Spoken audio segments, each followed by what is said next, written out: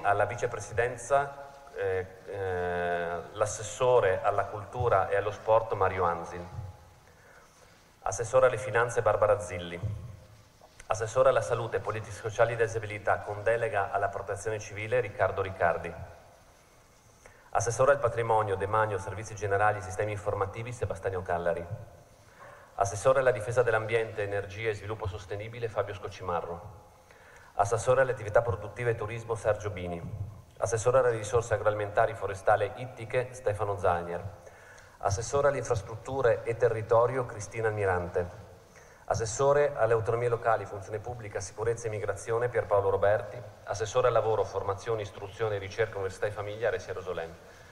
Come capite quindi è una giunta che va in penso totale, continuità con la precedente, di questo ne sono orgoglioso. Otto assessori su dieci confermati, la giunta Fedriga bis si apre nel segno della continuità, con pure i record di Riccardo Riccardi e Alessia Rosolen al terzo mandato personale in una squadra di governo del Friuli Venezia Giulia, il precedente per entrambi con Tondo presidente. I nuovi ingressi arrivano per due esponenti di Fratelli d'Italia, il friulano Mario Anzil, che oltre ad ereditare cultura e sport da Tiziana Gibelli diventa vicepresidente, Presidente e la pordenonese Cristina Amirante che eredita le infrastrutture da Graziano Pizzimenti. Quanto alla necessità o meno per gli assessori eletti in Consiglio regionale di dimettersi dall'incarico d'aula, il Presidente ha lasciato libertà ai partiti. Questa volta ho dato eh, scelta all'assessore su cosa è meglio fare. È chiaro che ho dato scelta perché eh, ogni scelta comporta una conseguenza.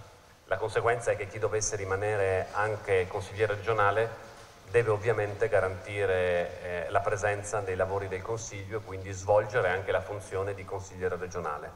Eh, se uno legittimamente eh, è stato eletto in Consiglio regionale e ha ricevuto l'incarico d'assessore, eh, deve svolgere entrambi i ruoli. Quanto al fantomatico Mr. X, cioè il potenziale assessore che il governatore avrebbe potuto ottenere per sé, in ragione della schiacciante vittoria con il 64% delle preferenze, 7 punti in più rispetto al passato, è probabile che la casella non occupata si trasformi in un jolly che Federica potrà giocarsi nelle future nomine delle partecipate della regione. I ruoli di vertice in Friulia e in società autostrade Alto Adriatico, gli slot di peso in vista di una nomina a breve.